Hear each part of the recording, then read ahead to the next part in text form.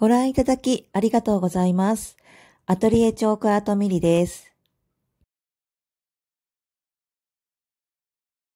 2月にバレンタインデーがあるということで、えー、この時期になるとチョコを書く機会が増えると思います。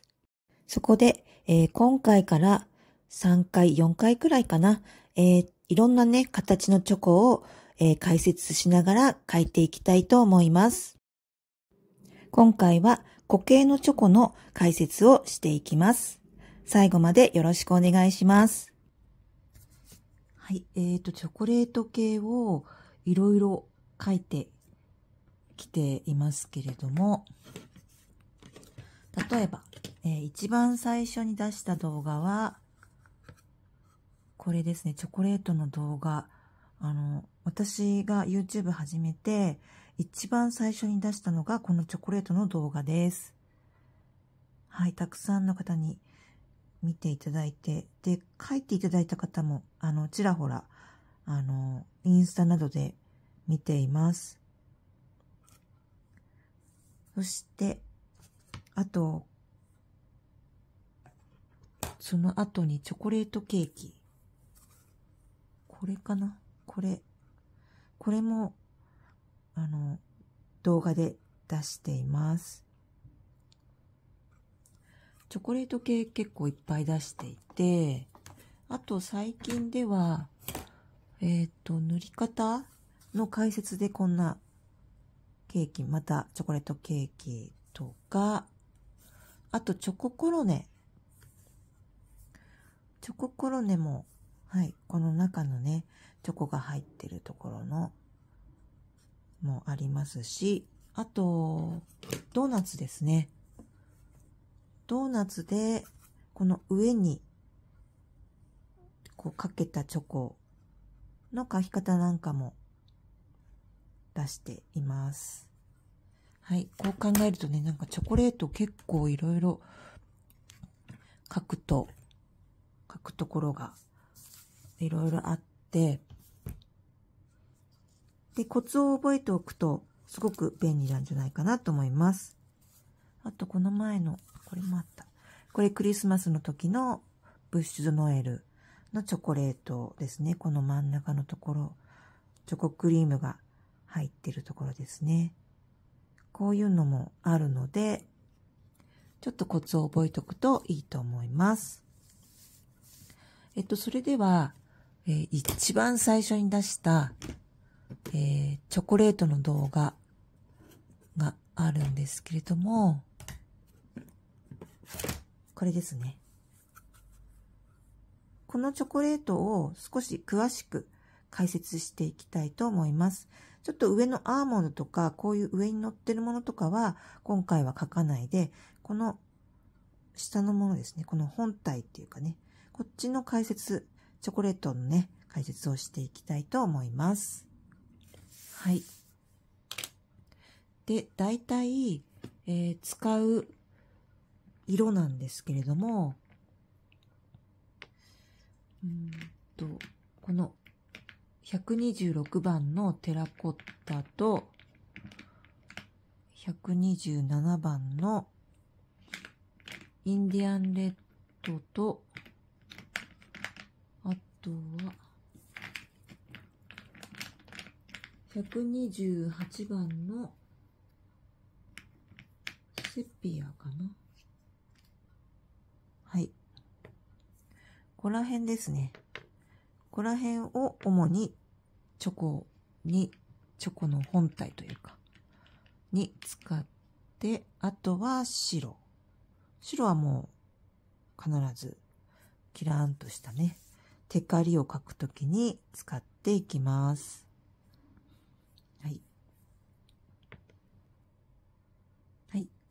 じゃあまずこの丸、うんと、円柱っぽいね、ものから書いていきます。えインディアンレッドを主にベースに使っていきます。で、まず最初に、いつものようにこの形をなぞります。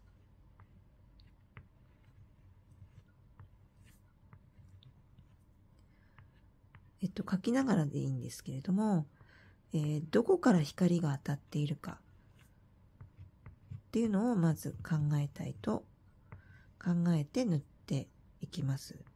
で、チョコレートは光が当たっ、光の、なんて言うんだろう、明るいところと暗いところが結構差が、あの、あるとより立体的に見えますので、しっかりとね、その光の当たってる方向っていうのを考えるといいと思います。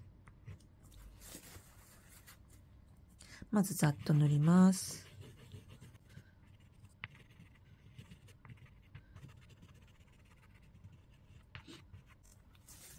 はい。そして、えっと、どうしよう。方向的には、うん、まあ上、こうかな。こんな感じで、光が当たってるとしたいと思います。そうすると、えー、この辺りは暗くなると思います。上結構一面明るくて、で、ここそ、こっちは側面なので、こっちはもちろん暗いんですけれども、こっちがより暗くなると思います。で、こっちは、まあ明るい部分もちょっとあるかなっていう感じだと思います。なので、この辺がね、暗くなるので、このセピアで暗い面をまず作っていきます。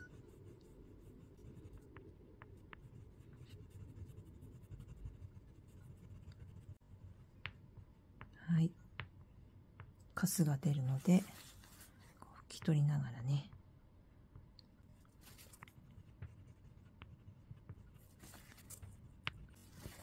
はい。で、少しこっちの方は、下の方が濃くて、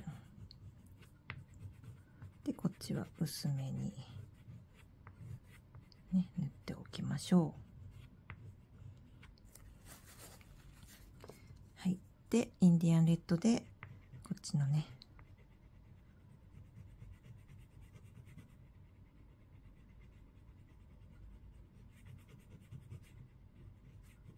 だんだん暗くなるような感じでは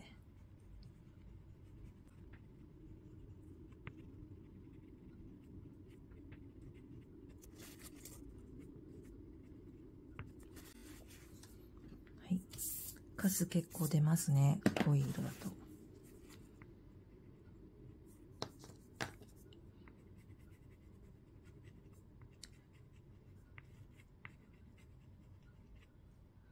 はい、こんな感じで塗れました。で、あとこの上ですね。上のところはしっかり塗ってしまいましょう。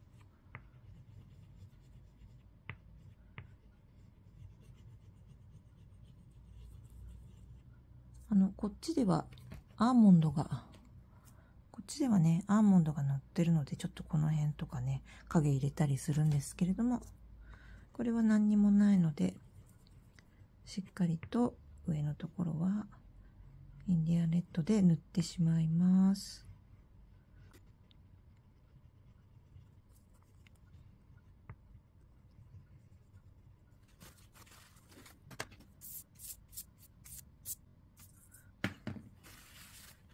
はい、て指で軽くなじませておきましょう。かす出ますね、結構。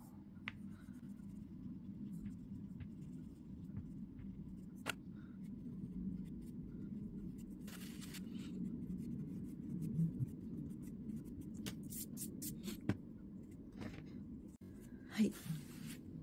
で、こんな感じで色だけ塗ったのはこんな感じできました。で、これだと全然チョコらしくないので、ここに白を入れていきます。はい。で、えっ、ー、と、テカリを入れていきます。まず最初に、えっ、ー、と、上の面ですね。上の面に白を入れていきましょう。ちょっとこれ塗りづらい。こっちの方がこっちの方がいいかな。はい。で、えー、っと、全体的に同じように塗ってしまうと、うんとペタッとしてしまうので、まあなんとなく、周り、周りと、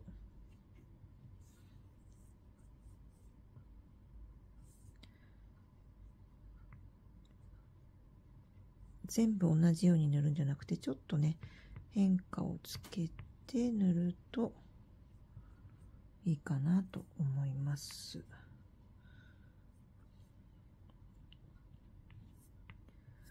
こんな感じでいいかな。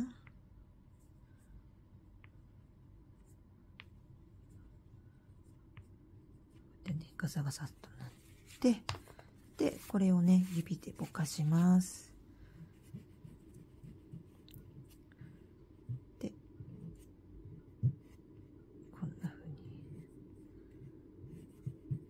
薄く、はい、なりました。一旦薄くします。こんな風にね。はい。で、側面の方もね、少し、この辺り、こっちから当たっているので、この辺りはね、ちょっと薄く光が当たってもいいかなと思うので、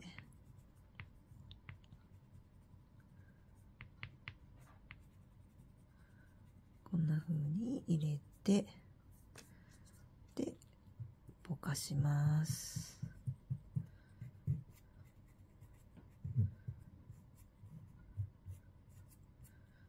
はい、こうするとね、少し色がついて明るいところができてきたんじゃないかなと思います。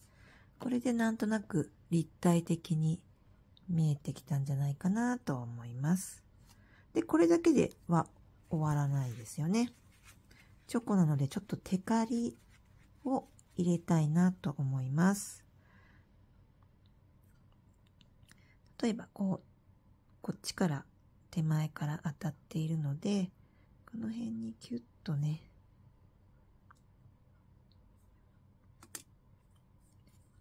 入れると、ちょっと変なになっちゃった。と入れると、ちょっと入れすぎた。入れすぎたらまた上に、こうやってね、同じ色、下と同じ色を重ねると消えます。こんな風に、キュッと入れると、テカリが出てきます。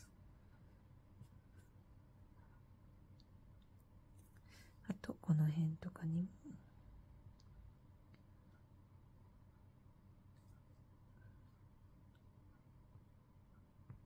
入れるとテカって見えてると思います。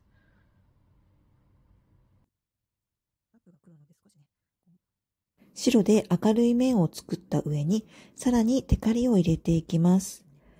で、白で、えー、線を描いてみたり、えー、丸っぽくね、書いてみたり、いろいろ工夫してみると、えー、リアル感が出ていいかなと思います。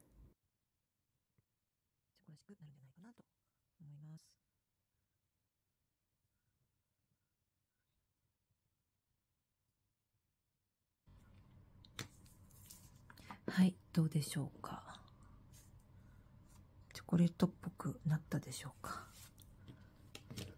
はい。で、形が変な時は黒でね、ちょっとこうやって、整えて、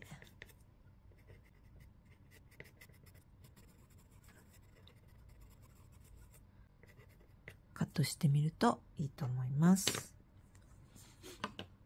はい。ちょっとこの辺にもうちょい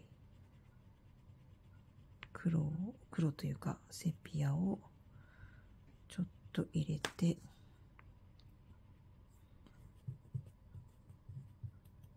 強弱つけるといいかもしれないですね。こんな風にね。ね。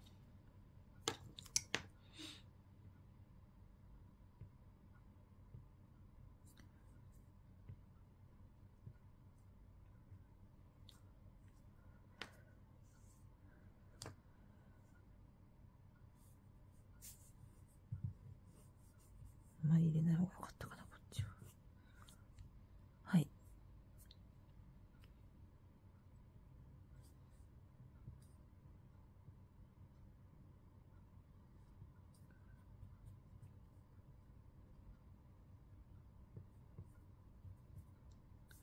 はい、入れるとキリがないので、このぐらいにしていきます。はい、こんな感じでね、ちょこ、まあ、ちょことしてはちょっと大きめなんですけど、こんな感じで、はい、できました。はい、それでは、えー、今度は四角のね、チョコを描いていきたいと思います。えっと、こっちはちょっと明るめにしたいと思います。テラコッタ126番の方を主に、主にというかベースに使っていきたいと思います。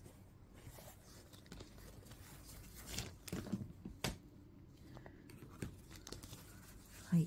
で、えー、っと、まず最初にベースに使う色で、形を描きます。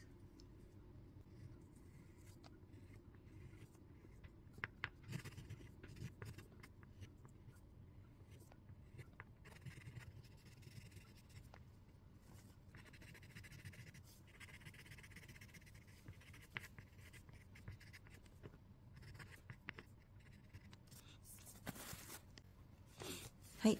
そして、えー、これもこの丸い方と同じく、まあ、手前、上の、まあ、右上から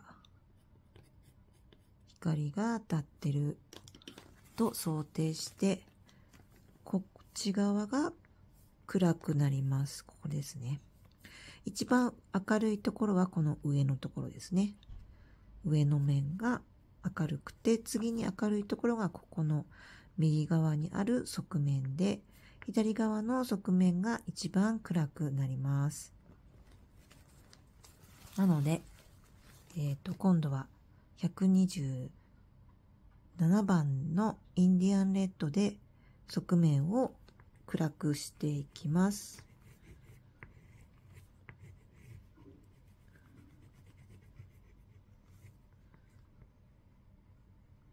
このね、左側の側面ですね。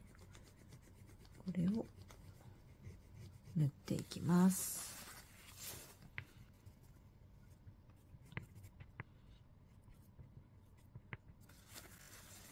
はい、塗れました。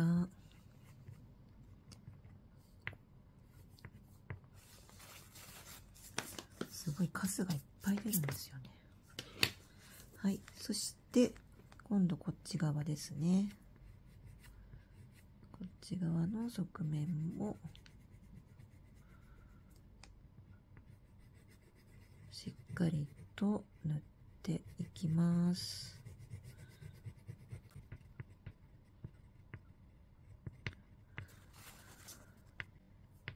はい。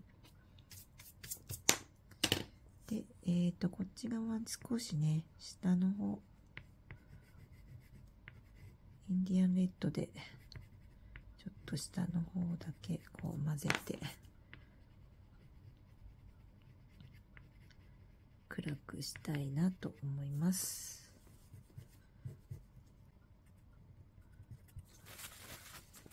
少しね混ぜてね。はい。でこの上の方ですね。上の方も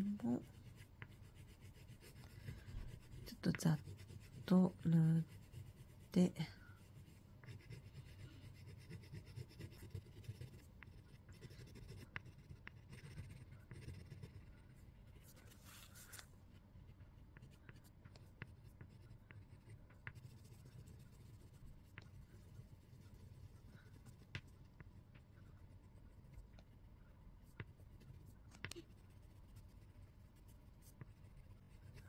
チョコなので、ま、塗るときは、まずこの黒いポツポツがなるべく見えないようにしっかりと塗り込んで、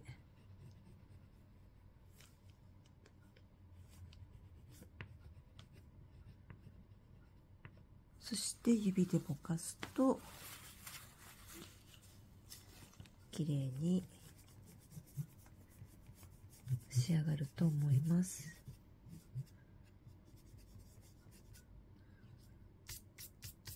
はい、こんな風に。ちょっとこの隙間のところはね、あの、ちょっと形がわかるように残しました。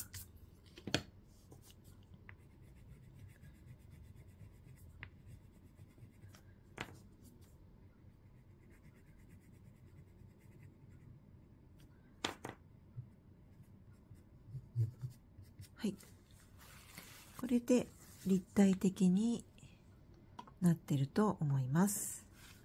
はい。ここに白を入れていきたいと思います。え、っと、手前の方、手前側の方、この上、あ、上面の手が手前側の方に、ちょっと白を入れると、だいたいこのぐらいかな。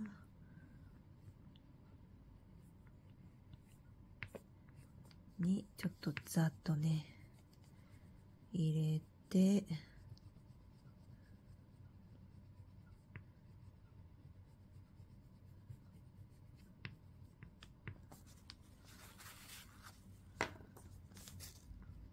で、ちょっと、テラコッ126番で少しこう際をぼかして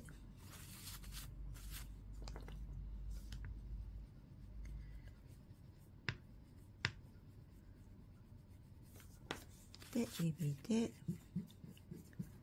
ぼかします。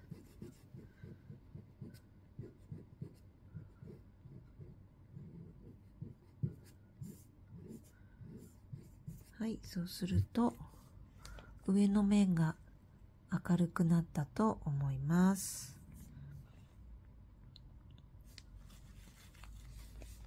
ね、この辺が明るくなったと思います。そしてテカリをつけて、さらにテカリをつけていきたいと思います。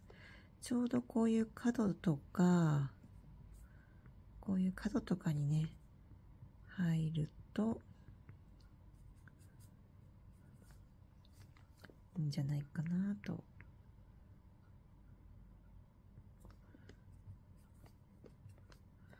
んな風に。あとこっちほどはねあんまり入れなくてもいいと思います。こんな感じで。でこの辺もねあの丸く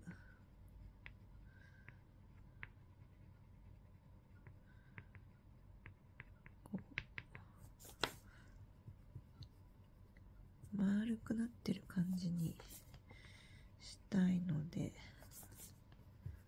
そんなにガーッとね変わってる感じではないので、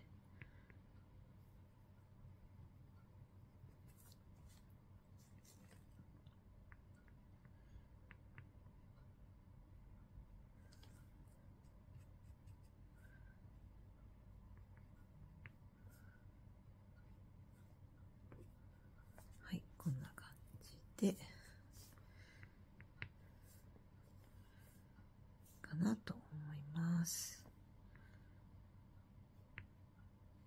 あとはところどころちょっとね、入れたりして、はい、こんな感じでいいでしょうか。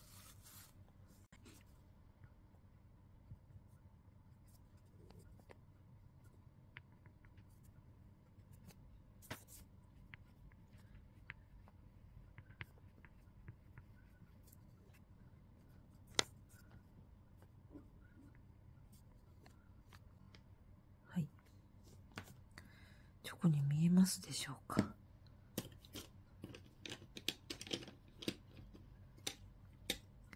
で、余計なところはカットして、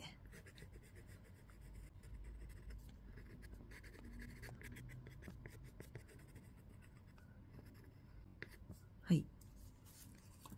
キャラメルみたいかな。色的にね。はい、こんな感じで。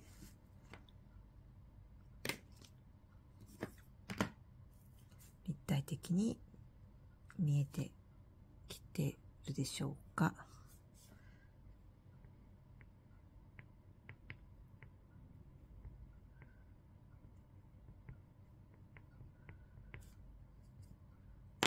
はい。はい、じゃあ四角いのができました。はい、じゃあ最後にこの丸いのを描いてみたいと思います。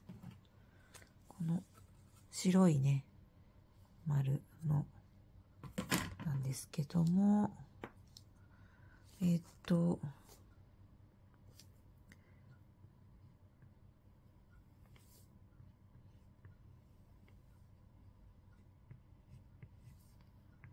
丸い、こういうのありますよね、チョコレートでね。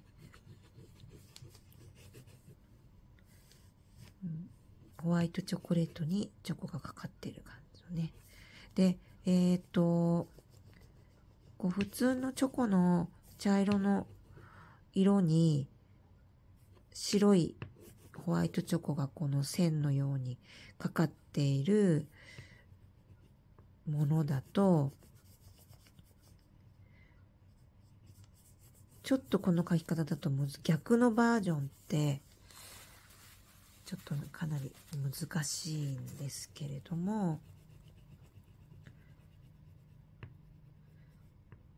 あの茶色の上に白を結構線で描くってなかなか難しいのでこうちょっとテカリぐらいだったらね描けるんですけど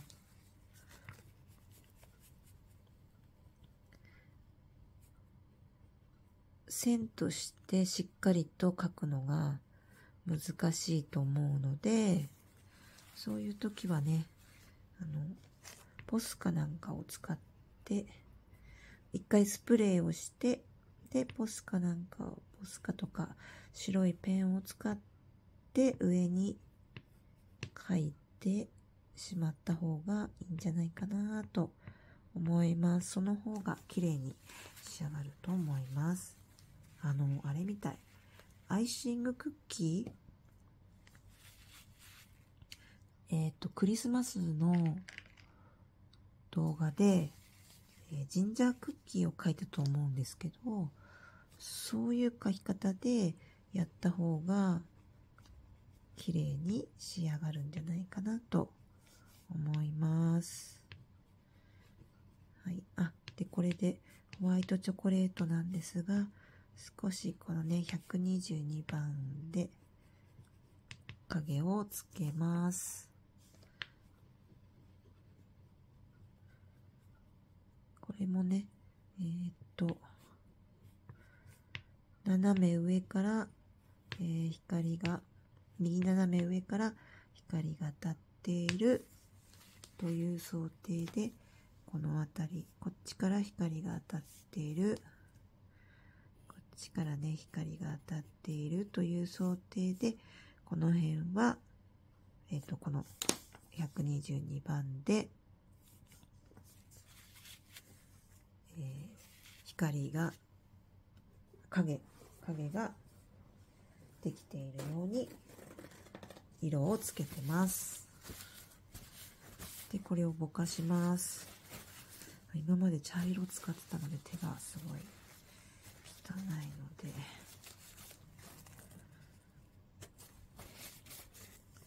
大丈夫かな？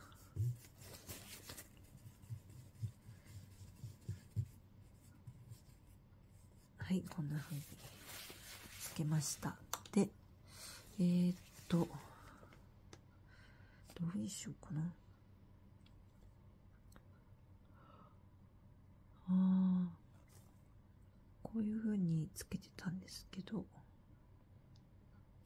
逆にしてみよう。まあいいか、これで。で、えー、っと、シュッシュとか言ってるのか。ちょっと太めに、えー、書いてみたいと思います。ちょっとこう、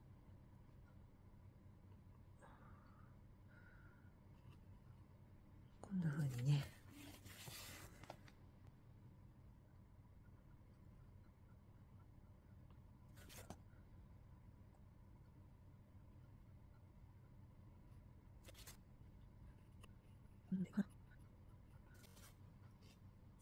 はい。じゃあこれを書いていきたいと思います。で、えっ、ー、と、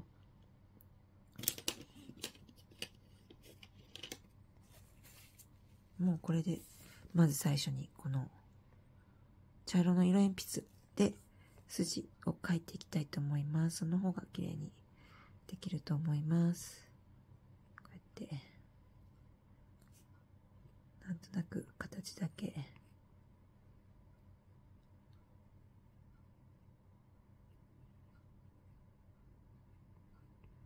最初からねあのオイルパステルで描いても全然いいんですけれどもちょっとなんとなく不安なのでまず茶色の色鉛筆でちょっと筋を描いておきたいと思います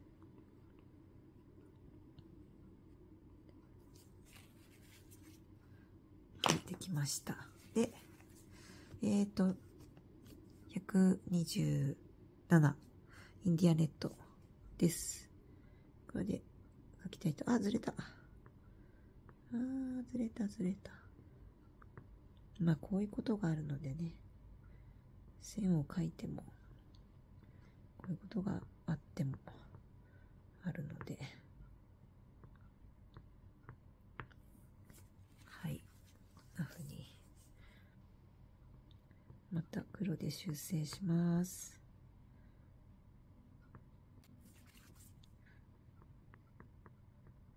はい。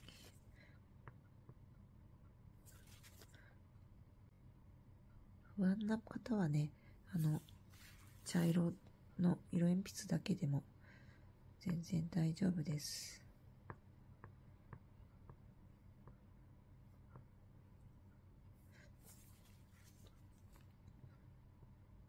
あ、でもこれはサイズが小さいので、あの、色鉛筆だけでも大丈夫かと思うんですが、サイズが大きくなる方は、あ大きくなる場合は、あの、ちゃんとね、こう、オイルパステルで描いていった方がいいですね。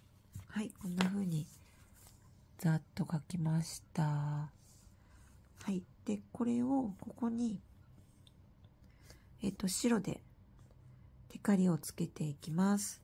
例えばこんな風に、この太いところだけでもね、入れると全然チョコ感が増します。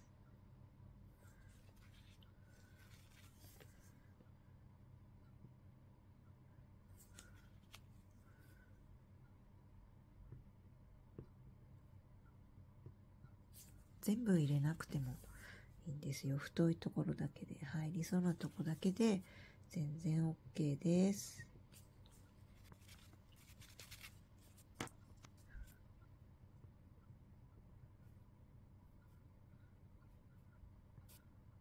はい。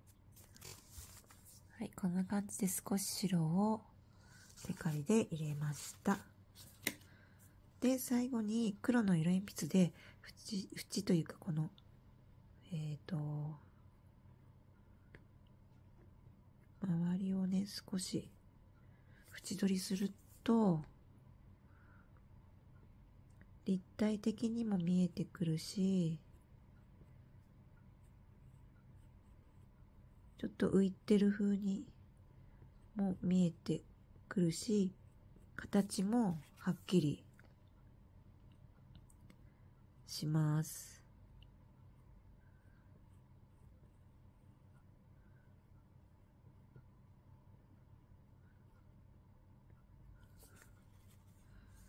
で、えっ、ー、と、下の方ね、えっ、ー、と、向かって下の方に黒で入れてください。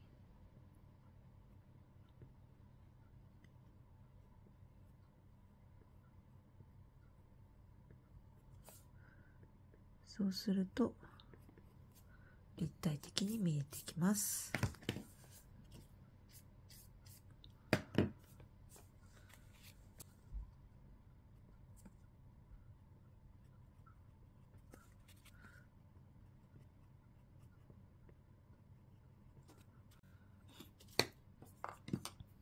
上側は茶色の色鉛筆でいいと思います。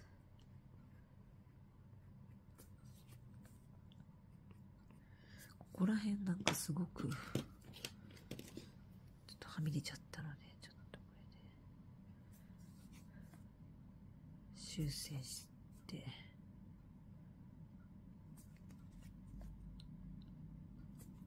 はい。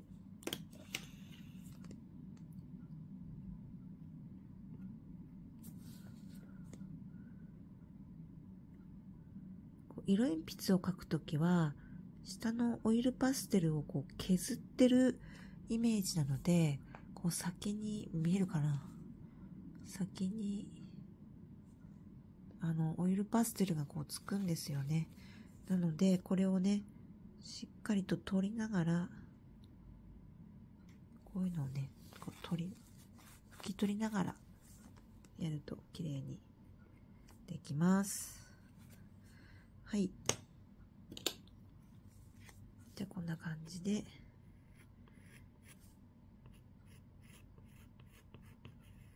はい、丸い、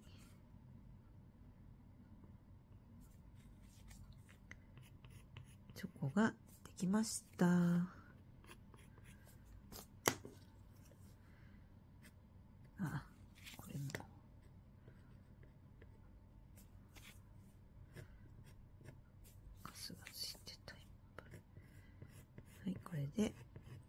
形を整えて。はい。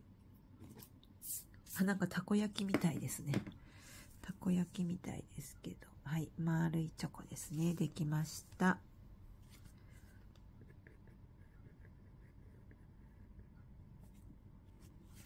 はい。こんな風に3種類。はい。書いてみました。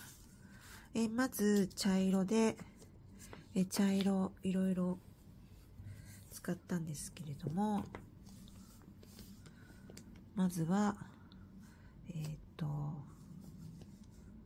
この茶色で立体的な形を描いてから白で、えー、明るい部分ですねを思い切り作ってしまいます。で、その後にこういうポイントですね。テカリをまたさらにその上につけていくと、チョコのね、立体的にリアルに見えてくるんじゃないかなと思います。はい。じゃあ、ここからですね、まず、ここ固形のものを書いてきたんですけれども、次は、ちょっと変わって、エクレア。これですね。これを書いていきたいと思います。